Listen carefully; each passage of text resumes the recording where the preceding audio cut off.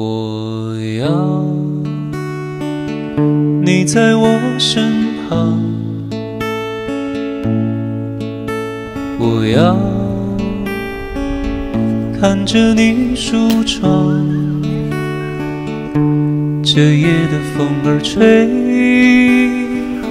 吹得心痒痒。我的姑娘，我在他乡。月亮，都怪这夜色撩人的疯狂。都怪这吉他弹得太轻。哦，我要唱着歌，默默把你想，我的姑娘，你在今天早晨登高远望，现在在景山的万春亭，还是在北京的中轴线上啊。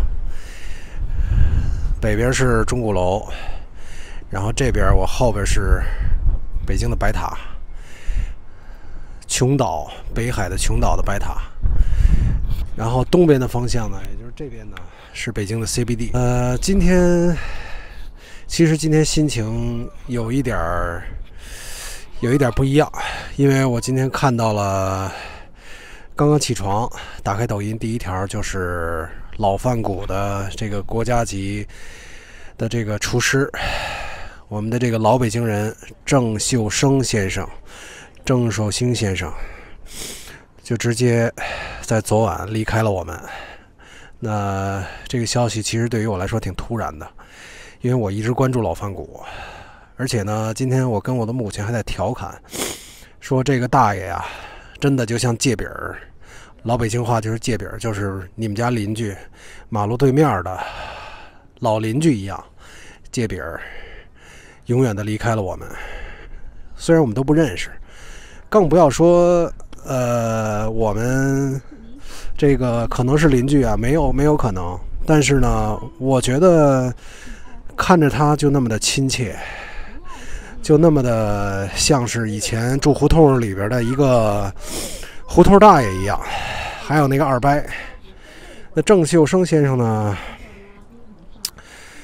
他的所有的这些做菜的这些作品，包括他的为人，在每一个他的段子里面都栩栩如生。因为我在海外。我能从油管里边看到他所有的作品，当然抖音里也都是同样的东西。你会感觉他其实是有的时候，有的时候是很吃力的。有的时候他做饭，你会看到他其实是在手是在哆嗦的，而且呢，呃，也是身上出了很多的汗，虚汗。就是正常的情况下，人的身体是好的情况下，他不会有这种感觉。呃，说明他身体发虚，而且呢，呃，其实他可能是当时能看得出来有慢性病。所有，所以呢，就是，呃，他在无论是抖音还是在海外的油管里边，呃。影响力还是很大的，那也就是说，大家看到的是他的这个为人，其实更多的，如果是行业内的朋友们，可能更多的也受到他的一个感召，他的影响力是非常大的。他每做一道菜呢，与其说是在演绎他的这个厨艺的功底。不如演绎他的一个精彩的人生，不如说演绎他的一个精彩的人生，真的是，呃，我看到一些简介上说他他的擅长是淮扬菜，但是我觉得他做每一道菜都是在用心在做，真的是在用心在做，他的一招一式，他的。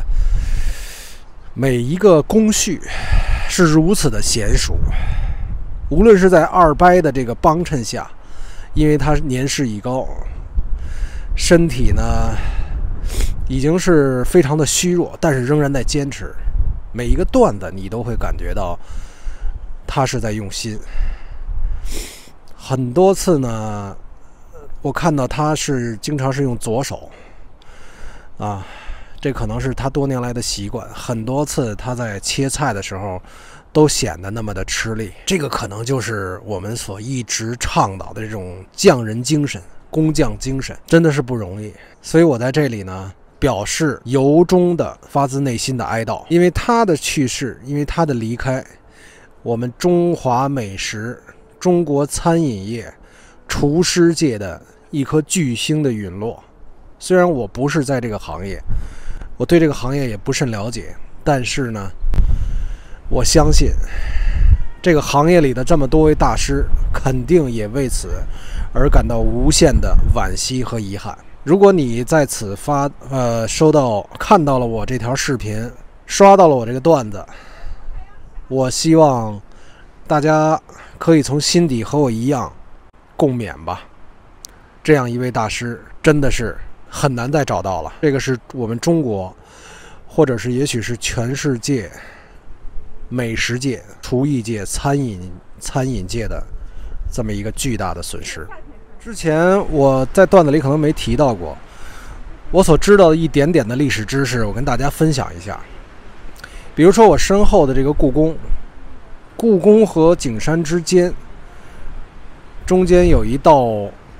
已经被拆除的，已经是没有遗存的这么一道门，叫北上门，是在故宫的北门，也就是玄武门和这个故宫呃和景山之间的这个门，叫北上门，已经现已拆除。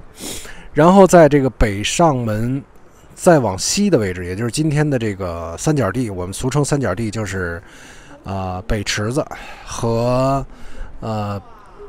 北海团城之间这个部分，那有一个国家级的文物保护单位，就叫大高玄殿。在大高玄殿的前面，也就是它的南面，正对着西北角楼的方向，啊，正对着西北角楼的方向，有一个特别的一个历史建筑，当然现在已经是现已无存了，也已经被拆除了。那个就是，呃，大高玄殿前的牌坊和洗礼亭。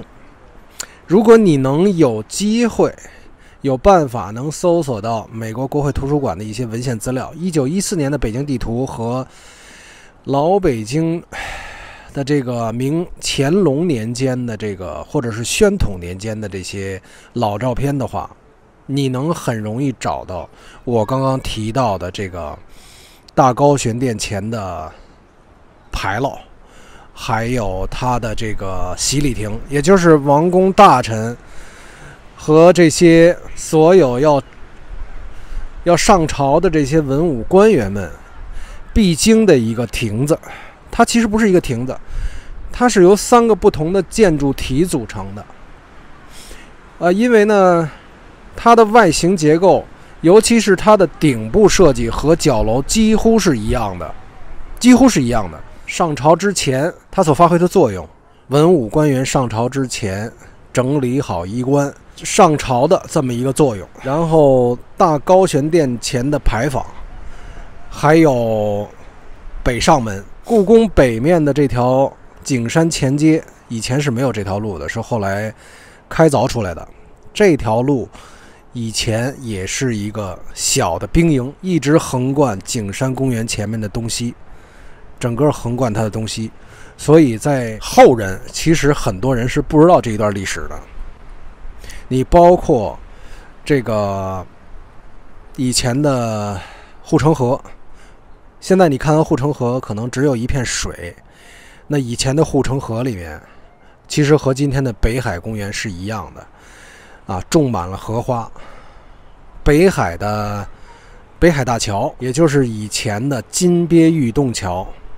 是今天，在今天北海大桥的这个位置，再往北差不多三十米的位置，为了扩宽这个前面的这条文津街，所以把北海大把这个金鳖玉洞牌坊拆除，然后往南移了三十米，扩宽了今天的你们见到的北海大桥。金鳖玉洞桥两侧，顾名思义，就是金鳖玉洞牌坊。我不知道大家能不能看见我后面的故宫啊？金鳖玉洞牌坊也是非常的唯美的。我这儿不是做导游，我只是想告诉一大家一些我知道的，或者可能你们从来不知道的一些北京的历史。然后这个后面。就是中轴线北边的这个大雄宝殿，西边呢，你能看到的就是北海的小西天、藏经阁、五龙亭，当然里边还有这个九龙壁，但是呢，里面九龙壁实在是这个太矮了，你根本看不到。然后还有这边北海的白塔。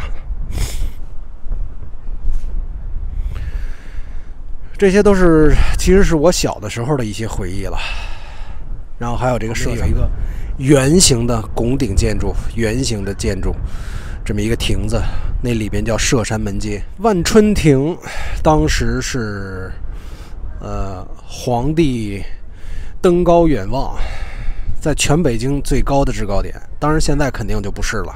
最后一点呢，想跟大家分享就是从这个景山的西北角的方向。这个西北角的方向有一个有一个以前的一个道观，那个道观的位置开始是从北海里引流出来的一个水渠，那个道观的位置出来的那个水渠，沿着景山的西墙，沿着景山的西墙一直到我刚刚说的洗礼亭的位置，汇入到故宫的北护城河。汇入到故宫的北护城河，也就是说，整个它的这个走向是南北走向的。今天这个河已经变成了暗渠，在这里边可能没有人知道这个暗渠的位置，它正好是沿着景山公园的西墙。以前北京的水系其实很多，包括赵登禹路，包括这个西边的呃东边的这个东。